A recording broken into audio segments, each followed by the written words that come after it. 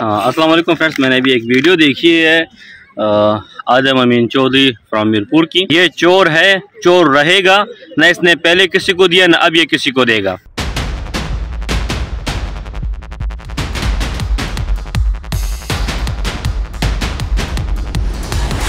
बिसमीम नाजरीन अस्सलाम आप देख रहे हैं आवाज़ टाइम्स। में हूँ आपका मेज़बान ताहिर नसीर। नाजीन आज बहुत दिनों के बाद मैं B for U group of companies S R group of companies के मालिक सैफुररहमान ख़ान न्याजी के ऊपर बात कर रहा हूँ। आपको मालूम है कि हमारा पहले दिन से स्टान सही था कि सैफुररहमान ख़ान न्याजी आवाम से फ्रॉड कर रहे हैं आवाम को लूट मार कर रहे हैं, उन्हीं का पैसा उन्हीं को वापस देते हैं और मज़ीद इन्वेस्टमेंट उठाते हैं। लेकिन किसी ने यकीन ना किया, फिर इनकी ज़मानत खारिज हुई, जेल गए, फिर बेल पे आए, नैब ने रेफरेंस दायर कर दिया। लेकिन आज सैफुररहमान खान न्याजी का मैं एक और झूठ आपके सामने रखूँगा और आपको ख़ुद अंदाज़ा हो जाएगा कि वाकई सैफुररहमान खान न्याजी कितना बड़ा झूठा शख्स है। फिर इसके साथ साथ आपको मोटिवेशनल स्पीकर जो राजा रियाज ने आपको एक ट्रक की बत्ती के पीछे लगाया हुआ है तुर्की में कंपनी बन रही है, ख़ुद तुर्की का दौरा करके आ गए हैं। कौन सी कंपनी बन रही है? नाम किसी को नहीं बताया, नाम डिस्क्लोज़ नहीं किया, क्योंकि उनको मालूम था कि अगर नाम डिस्क्लोज कर दिया तो वाच टाइम्स की टीम उसका भी खोज लगा लेगी। आज मैं प्रोग्राम में आगे चल के राजा रियाज साहब के कुछ झूठ आपके सामने रखूँगा और फिर बी फोर यू का ही एक कमीशन एजेंट है, जो ब्लैकमेलर के नाम से मशहूर है, हैदराबाद का, इमरान ख्वाजा। उसकी ज़ुबानी सुनाऊँगा कि वो राजा रियाज के मतलब क्या फ़रमाता है। वो आप ख़ुद अंदाज़ा कर लें कि ये कितना बड़ा झूठ और कौन सा फ्रॉड कर रहे हैं। मज़ीद पाकिस्तानी मजलूम आवाम से कि एक नैब ज़दा शख्स जिसके ऊपर रैब का रेफरेंस दायर हुआ है, ज़मानत पर वो बाहर है, वो दोबारा से पाकिस्तानी आवाम को उसने लूटने का प्लान बना लिया है। इसके अलावा आपको बताएँगे कि आल पाकिस्तान प्रोजेक्ट्स के जो मालिक आदम अमीन चौधरी हैं, जो कहते थे, पाकिस्तान हमारा है। सारा का सारा हमारा है, क्योंकि पूरे पाकिस्तान में लूट मार करनी है। तो उनके जो स्पोक्स पर्सन थे, जमाल ख़ान, जो जमाल टाक्स के नाम से बहुत मशहूर हैं, उन्होंने आदम अमीन चौधरी का असल चेहरा ममरान को बता दिया। अब देख लें कि बी फॉर यू में भी क्लैशेस पड़ चुके हैं, और आल पाकिस्तान प्रोजेक्ट्स में भी क्लैश पड़ चुके हैं। अब ये दोनों इनके, जो जो लोग इनके करीब थे, वो इनका असल चेहरा आपको दिखाना शुरू हो चुके हैं। प्रोग्राम में मज़ीद कौन कौन सी चीज़ें आपको बताऊँगा। सैफुररहमान खान न्याजी का वो झूठ जो उन्होंने एक प्रोग्राम में बोला, वो आपके सामने रखूँगा। आप ख़ुद अंदाज़ा कीजिएगा कि नैब ने उनसे क्या सवाल किया तो उन्होंने क्या जवाब दिया, लेकिन उसका असल जवाब सैफुररहमान खान न्याजी के मुँह से निकल ही गया। तो प्रोग्राम में आपको सबसे पहले हम मोटिवेशनल स्पीकर राजा रियाज, जिनके ऊपर ख़ुद मुकदमात दर्ज हैं, जो ख़ुद लोगों से स्केम कर चुके हैं, उनके जो डसे हुए लोग हैं, वो अभी तक इनसे पैसे मांग रहे हैं, लेकिन ये पैसे वापस नहीं दे रहे, क्योंकि इनको तो सब अच्छा बताने की आदत है। और ये इनका काम तो सिर्फ़ ये है कि इनके घर का चूल्हा जलना चाहिए, बाकी दुनिया भाड़ में जाए। तो राजा रियाज साहब का ये ज़रा प्लान ए और प्लान बी पे खेलते रहेंगे। फिर इस कंपनी का जो तुर्की से दावा किया जा रहा है कंपनी ऑपरेट होगी, उसका जो तर्जमान बनाया गया मलिक नवीद। मलिक नवीद के ऊपर कल की वीडियो में डॉक्यूमेंटेड प्रूफ आपको दिखाऊँगा। वो डॉक्यूमेंट्स झूठ नहीं बोलते। सरकारी इदारे के वो डॉक्यूमेंट्स हैं, वो आपको दिखाएँगे कि मलिक नवीद जो स्पोक्स पर्सन बना हुआ है, उससे एक हवाओं में जो कंपनी तख्लीक की गई है उसका। लेकिन उससे पहले कि मज़ीद और चीज़ें मैं आपको बताऊँ, ये राजा रियाज साहब का ये ज़रा वॉइस नोट सुनिएगा, जो वो मुख्तलिफ़ ग्रुपों में वायरल हुआ हुआ है। हमें तो किसी ने शेयर किया था, मैंने सोचा आपके सामने ज़रा, राजा रियाज साहब का झूठ आपके सामने रखूँ, शायद आपको यकीन आ जाए। असलम देखिए जी ऑप्शन बी में कोई भी बंदा ऑटोमेटिकली शिफ्ट नहीं होगा, ये जहन में रखिएगा। ये एक मिसअंडरस्टैंडिंग है। कोई डाटा ट्रांसफ़र नहीं होगा, कोई कुछ नहीं होगा। हर बंदे ने अपनी पर्सनल रिक्वेस्ट उस साइट पे करना होगी कि मेरे ये पैसे बी फॉर यू में लगे हुए हैं। और मैं वो चाहता चाहता हूँ या चाहती हूँ कि भाई ये इस न्यू साइट में ट्रांसफ़र कर दिए जाए। फिर वो उसकी वेरिफिकेशन लेंगे। सैफ भाई से सैफ भाई जिसकी लाइबिलिटी को ऑन करेंगे, सिर्फ़ उसको वो कंपनी ऑन करेगी। हर शख्स की ऑटोमेटिकली ऑन करेगी, नहीं, उसकी वजह किसी की भी ज्वाइनिंग लगा देते, कल को वो कहता, नहीं जी, मेरी तो मर्ज़ी ही नहीं थी। तो देन क्या होगा? तो हर इंडिविजुअल ने पर्सनल अपना इंटरेस्ट शो करेगा। और ये सिर्फ़ ऑप्शन बी वालों की बात करें। ऑप्शन ए वालों के लिए तो सिंपल है, उनको कुछ भी करने की ज़रूरत नहीं, उन्होंने सिर्फ़ बैंक अकाउंट्स ओपनिंग का वेट करना है। तसली से पहले सोच। ये जरा एक और जो वॉइस नोट है कि ये खुद दावा कर रहे हैं कि कंपनियाँ वाकई स्केम करती हैं, क्योंकि इन्होंने भी स्केम ही करना है तो ये सुनिएगा ये क्या फरमा रहे हैं। और ये एक और चीज़ है जो कि आप बिल्कुल सौ फ़ीसद सच कह रहे हैं, बहुत स्कैम्स हुए हैं, लिहाजा सोच समझ के आपने फैसला करना है कि आपके लिए ऑप्शन ए बेहतर है या आपके लिए ऑप्शन बी बेहतर है। इसीलिए ये वक्त है तीस तारीख तक का। तसली से पहले सोच लें समझदार लोगों से मशवरे कर लें।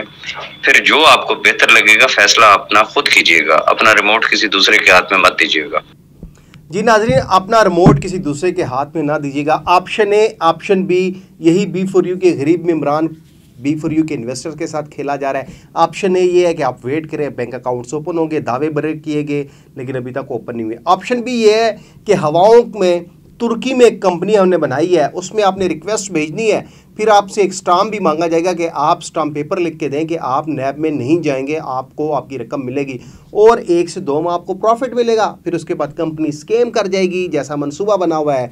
लेकिन इस सारी गेम के ऊपर जो हैदराबाद का इमरान ख्वाजा है, क्योंकि आप लोग उसको ब्लैकमेलर कहते हैं, उसने हमारे मतलब बहुत से अल्फाज इस्तेमाल किए, हमने प्रोग्राम भी किए। लेकिन उस ब्लैकमेलर के मुँह से, राजा रियाज के मतलब बहुत सी अच्छी बातें निकली हैं, क्योंकि इंसान जब अंदर से दुखता है तो सच निकलता है। और ज़रा सच इमरान ख्वाजा का क्या है, ये सुनिए। ये ये चाचा खामा खा जो बैठा हुआ है ना, ये खा जाएगा, ये बड़ी प्लानिंग से आया हुआ है, ये सब आप लोगों को बेवकूफ़ बना रहा है। ये सबों से पैसा इकट्ठा करेगा, इकट्ठा करके सीईओ को जो इसने खाब दिखाए ना कि मैं तुम्हारी जो है कर्जे उतारूँगा, मेरी कंपनी में पैसा आएगा और सीईओ इस वजह से खामोश हो गया है। ये पैसा इकट्ठा करके सीईओ को भी लात मारेगा, बोलेगा, भागो यहाँ से। ये आप इसको नहीं समझते, इसका माजी आप लोगों को नहीं पता, इंशाल्लाह मैं शाम तक इसका माजी खोलने वाला हूँ चाचा खामखा का। ये सारे जो इसके भाषण है ना, और ये पिछली कंपनियों में जो जिन जिन कंपनियों में था, सब डेटा लेके आ रहा हूँ मैं, उनका कैसे बेड़ा गर्द किया ये आप लोगों को सबको बेवकूफ़ बना रहा है चाचा खामा का इन बॉक्स में आ जाओ इन बॉक्स में आ जाओ इन बॉक्स में आ जाओ, अगर ये सच्चा है तो सामने आए ना, मैं बैठा हुआ हूँ ना, सवाल करूँगा मैं, लेकिन सामने नहीं आएगा, सबको इन बॉक्स इन बॉक्स क्योंकि इसने जो है ना सबकी जो है ना ऐसी तैसी करनी है ये सब, सारा पैसा वसूल करके आप लोगों को चकमे दे के आप लोगों से ज़्यादा ज़्यादा ये बोलेगा दस हज़ार डॉलर लगे हुए हैं। अच्छा जी छः हज़ार का विड्रावल आप ले चुके हो, चार हज़ार बचे हैं, चार हज़ार की और पेमेंट लगाओ, आठ हज़ार में आपकी एंट्री लगा रहा हूँ। आप लगा दोगे, सारा पैसा इकट्ठा करके फिर बाद में बोलेगा कौन सीओ कौन मैं। अभी तो सीओ को समझ नहीं आ रही, इसने सीओ को सारे ख्वाब दिखा दिखा के ना उसको चुप करा दिया है बिल्कुल, और ये अपना काम समेट रहा है। ये आया किस टाइम में? सिर्फ़ कॉन्टैक्ट जमा करने के लिए। नहीं जी जनाब, ये थे इमरान ख्वाजा साहब, जो सैफ, शुरू दिन से ही सैफुररहमान खान न्याजी के साथ रहे। और ये जब अंदर से दुखा है तो इसने सच बोल दिया है कि राजा रियाज साहब सिर्फ़ कॉन्टैक्ट्स इकट्ठे करने के लिए आए हैं। जिस तरह की वो अल्फाजी इस्तेमाल कर रहे हैं अब ये अक्लमंद जो लोग हैं, उनके लिए काफ़ी है मेरे ख्याल से। अब अगर मज़ीद भी आप डूबना चाहते हैं तो ज़रूर डूबिएगा। मलक नवीद के हवाले से कल हम आपको ज़रूर कुछ चीज़ें बताएँगे डॉक्यूमेंटेड चीज़ें होंगी। आप ख़ुद अंदाज़ा कीजिएगा कि मलक नवीद भी कौन सा दूध का धुला हुआ है, ये आपके सामने रखेंगे। अब आते हैं आल पाकिस्तान प्रोजेक्ट्स के ऊपर। आदम अमीन चौधरी और जमाल खान के दरमियान लड़ाई हो चुकी है। लड़ाई इस कदर शिद्दत इख्तियार कर गई है कि जमाल खान ने सच उगलना शुरू कर दिया है। क्योंकि आपको मालूम है कि हमारा तो दावा था कि आल पाकिस्तान प्रोजेक्ट्स के मालिक आदम अमीन चौधरी ने A M T all money team, यानी कि पैसे इकट्ठे करने वाली मशीन उसने बनाई है और सब लोगों को दोबारा लुटेगा। लेकिन जमाल ख़ान का जब अकाउंट उन्होंने रोक दिया सस्पेंड कर दिया तो जमाल ख़ान की चीखें निकल गई। और जब चीखें निकलती हैं तो सच भी निकलता है। वो सच क्या है? ज़रा जमाल ख़ान की ज़ुबानी आप सुनिए ताकि आपको यकीन हो जाए कि आदम अमीन चौधरी भी एक फ़्रॉड करने के लिए पाकिस्तान में आया है। सुनिए जमाल ख़ान, ये वो जमाल ख़ान है जो आल पाकिस्तान प्रोजेक्ट्स के तर्जमान रहे आठ हज़ार की इनकी टीम है। इनके मुँह से सच बहुत ही अच्छा लग रहा है, ज़रा सुनिए। फ्रेंड्स, मैंने अभी एक वीडियो देखी है आज़म अमीन चौधरी फ्राम मीरपुर की। उसने बोला है कि मुनाफिकीन में मेरा नाम भी लिया। तो मेरे सबसे पहले मुनाफिक तो ये शख्स खुद है कि यह वेबसाइट जो है, ये सुहेल ने बनाया, जो जेल गया था बी फारू के केस में, एक बार। सबसे पहले इसने अनवर अफरीदी को बनाया सीईओ वो इससे पीछे हो गया उसने बोला कि यार ये मैं नहीं करता। फिर नदीम रंधावा को बनाया एक डेमो सी ओ है ठीक है? पैसा जो है, ये आदम अमीन चौधरी ही दे रहा है, कोई और नहीं दे रहा है। ये कंपनी जो है, ये आदम अमीन चौधरी की ही है, किसी और की नहीं है। अब ये बहाने ढूंढ रहा है, ये यही लगा हुआ है, पहले सबको कहा कि के वाई सी के लिए एन आई इकट्ठा करो, उसमें कुछ महीना गुजार दिया। फिर इसने क्या किया? कश्मीर बुलाया, उसमें वक्त गुजार लिया। अब क्या कर रहे हैं? आप पे आई बना ली हैं इसने। एन आई सी का ऑप्शन क्या पहले दिन नहीं ला सकता था, था? A P P I D वाला पहले दिन ऑप्शन नहीं ला सकता था। नहीं लाया। क्या ये पूरा डेटा शिफ्ट नहीं कर सकता था? ये बंदा नहीं लाया।